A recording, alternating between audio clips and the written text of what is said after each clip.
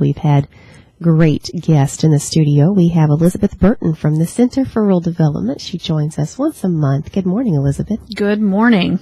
We have a lot to talk about, as always. Lots of things going on at the Center for Rural Development. Coming up this Monday is an event that you all have every year. It's the Excellence in Entrepreneurship Awards Luncheon. And for those who might not be familiar with what that is, talk about that.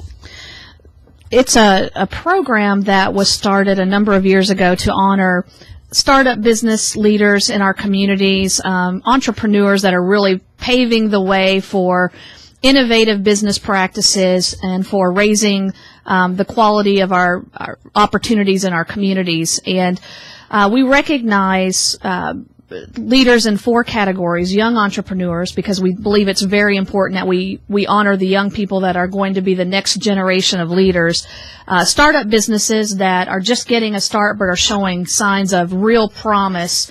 Uh, for-profit small business and then not-for-profit entities that are really again uh, showing us diversification that we think will be critical to the future success of eastern and southern Kentucky.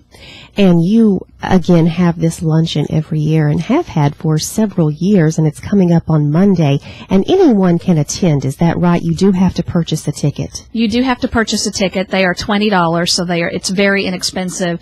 And uh, a lot of people may think that this is just a luncheon for the finalists in these categories.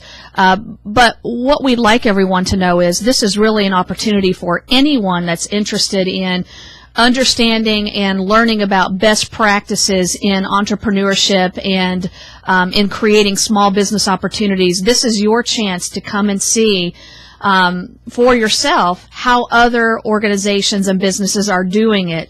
And we're hoping that these finalists will serve as examples for other people to begin their own businesses.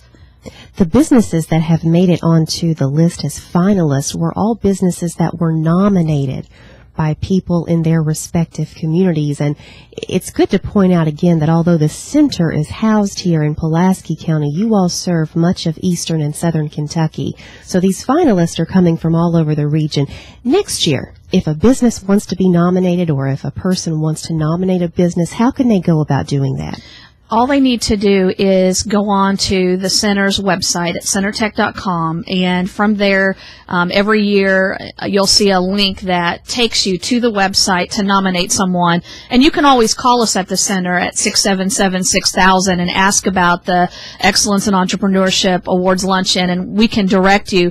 It's it's really important that those who um, have contacts in their own communities nominate these individuals because it only benefits the communities in which these businesses reside because it brings notoriety um, and exposure, market exposure to these businesses as well as to the community. And another thing that um, some folks might not be aware of is um, if you're chosen as a winner, we do what's called hometown visits. And so this is an opportunity for the businesses that are chosen as winners to celebrate with their communities and again get a lot of media and market exposure uh, that that showcases what they've been able to do. And so, um, anyone out there, it's not too early to start thinking about 2015 and and who might be someone that you would want to nominate from your communities. And you're right, we serve all of southern and eastern Kentucky, um, and so you know we've got finalists from Garrett, Kentucky, we've got finalists from Harlan, from Russell Springs, um, from Booneville, so all over the place. And and if if you know anyone at all, we just encourage you start thinking now. It's not too late the Excellence in Entrepreneurship Awards luncheon taking place at the center on Monday, September the 8th at 11:30. You can get tickets. They are $20. You can visit centertech.com to do that. And it's important also to mention you're accepting reservations through September the 5th. So will people be able to pay at the door or do they need reservations? We need folks to go ahead and if if you know that you're coming, please go ahead and go online and uh, submit your registration. We'll still um, we'll still accept people into the luncheon at the door, but the reason it's so important that you go online is we're trying to make sure that we have enough food for everyone. We need to get those counts. So if you if you have um, any inkling at all that you might be attending, please go online and register. Register today, centertech.com. Let's move on to something I'm excited about, Kids Fest. Kids Fest coming up on September the 13th. So Kids Fest is a wonderful program that we began a number of years ago. I, I, and it's something that we at the center feel is very important in terms of building community. Um, Kids Fest is a an event that really allows families to come together, and it's a free event. A free event. You don't have to pay for it. Free is always good when you have a family. It's always good. And um, this event, we're fortunate that we have a lot of community partners like Walmart and like the city of Burnside that help us sponsor this event. Um, and there's all kinds of things. You know, even though it's called Kids Fest, this is a family friendly event. So it's geared to families. We have inflatables. We're going to have crafts and exhibits and we're going to have games and other activities that are, again, very family friendly. That's on Saturday, September 13th. It's going to start at 11 a.m. and go on until 2 p.m. And uh, one other thing is, you know, Forcht Broadcasting has been instrumental in this. So I wanted to make sure that I, I mentioned on air how great you all have been to help support this event and really get the word out. So thank you for that. and we'll be there.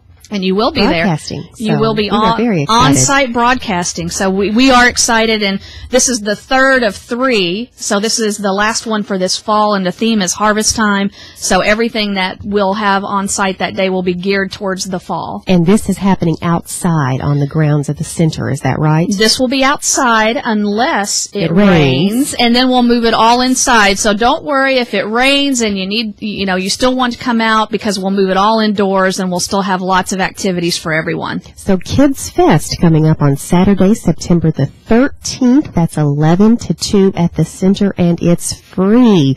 So come out and celebrate with us Kids Fest on September the 13th. We're talking with Elizabeth Burton this morning from the Center for Rural Development and you're listening to Mid Mornings with Amy presented by the Mohole of Somerset. Welcome back to Mid Mornings with Amy. It is Thursday, September the 4th, 70 degrees outside. I hope you are having a wonderful Thursday wherever you are this morning. We're talking with Elizabeth Burton from the Center for Rural Development. And uh, Elizabeth, I have to say, I remember a week ago maybe, you posted a picture on your Facebook page of a tater tot casserole. And I remember I asked you, could you bring one in the next time you come on Mid Mornings with Amy so that, that Greg and I could sample it? Yeah, where's because our we do that from time to time.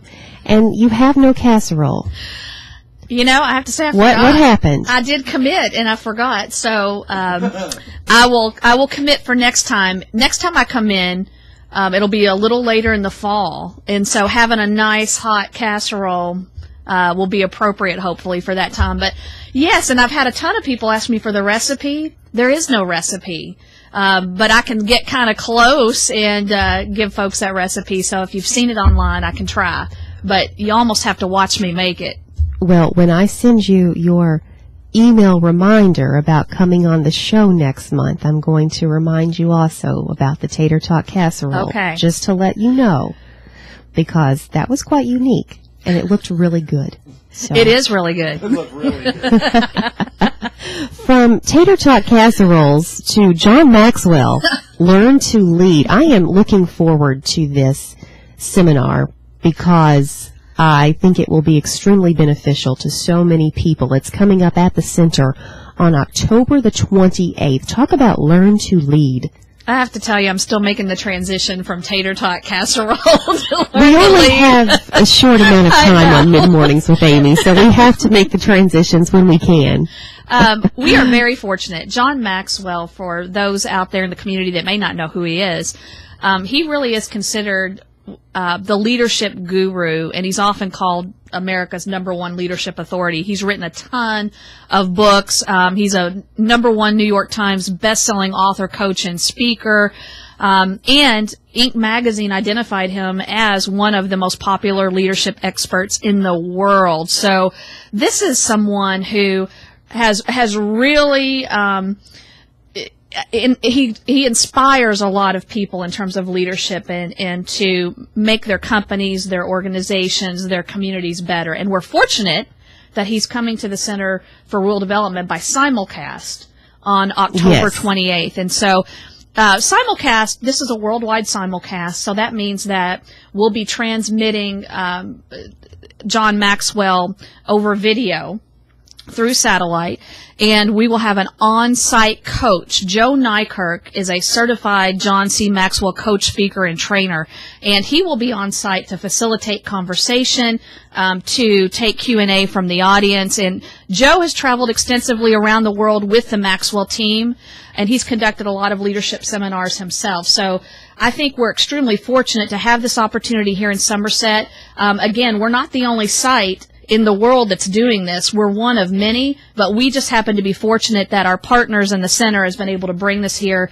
Lake Cumberland Rheumatology, the Somerset Pulaski County Chamber of Commerce, and the center um, has worked together to bring this to our community and at a much reduced price. So it's $20 per person. You won't find a ticket price like that anywhere, no matter where you go, even in state.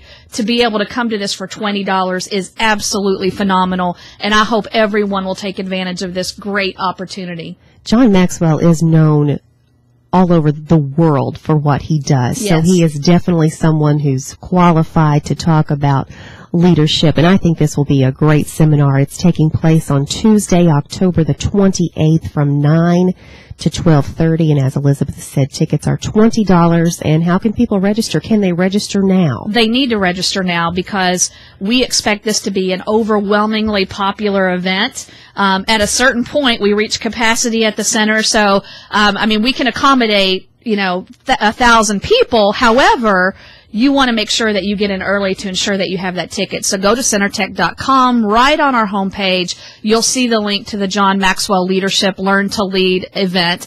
And just click on that. It'll take you to the registration page and get your registration in now. Let's talk about some of the training programs that you have coming up because we always mention you have new programs coming up every time you join us. So let's talk about Microsoft Publisher, something that a lot of people use in their daily work lives. The Microsoft Publisher is a wonderful tool, especially for small organizations, small businesses, not-for-profit organizations, or anyone that may be in business for themselves.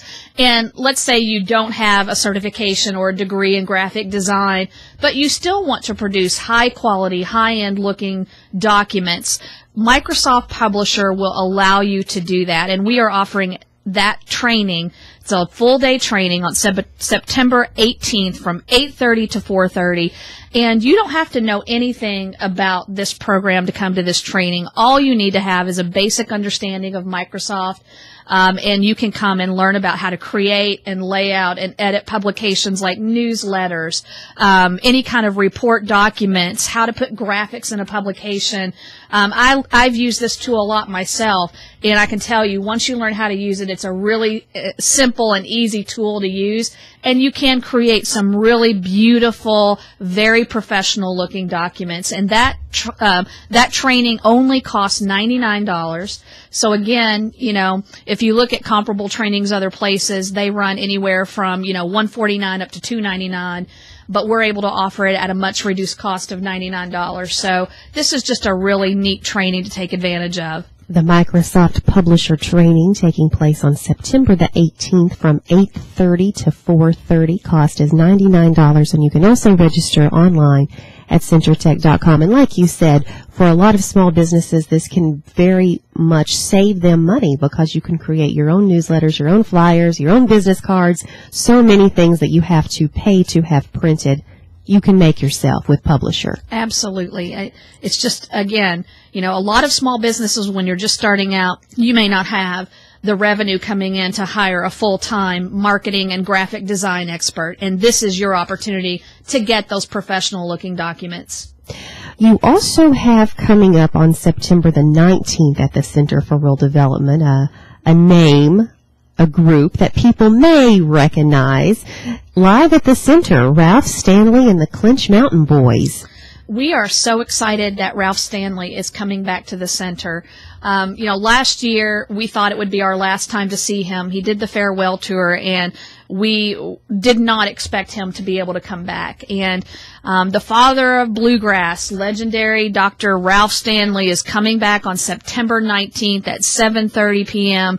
And you know, anyone in Kentucky knows this name. I grew up listening to bluegrass music. My grandfather had a hammered dulcimer, and uh, in if you don't know anything about bluegrass and you want to get a real taste for what it means to be a musician and a performer in the bluegrass genre, this is a performance you do not want to miss. Um, we do this show in partnership with Lake Cumberland Performing Arts, um, and we're able to bring it to everyone at only $25. And we will tell everybody how they can get their tickets to see Ralph Stanley and the Clinch Mountain Boys when we come back on Mid Mornings with Amy. We're talking with Elizabeth Burton from the Center for Rural Development. Thank you so much for joining me this morning on Mid Mornings with Amy. We've been talking with Elizabeth Burton from the Center for Rural Development. And don't forget to join me again tomorrow for a Did You Know Friday on Mid Mornings with Amy. Elizabeth, we talked about Ralph Stanley and the Clinch Mountain Boys coming to the center on September the 19th at 7.30. Tickets are only $25. How can people get them? Go to centertech.com, uh, look at the center stage events, and you'll be taken to a link you can buy for Ralph Stanley and all of our performances. And you can also, at centertech.com, find out more about what we've been talking about this morning, about your training sessions coming up, about the Excellence in Entrepreneurship Awards coming up on Monday. So centertech.com, a good resource for you. Elizabeth, as always, thank you. Thank we you. never seem to have enough time to We talk do. about all that we need to talk about, but we will see you again in October with a tater tot casserole. Looking forward to it. Have a great day, everybody.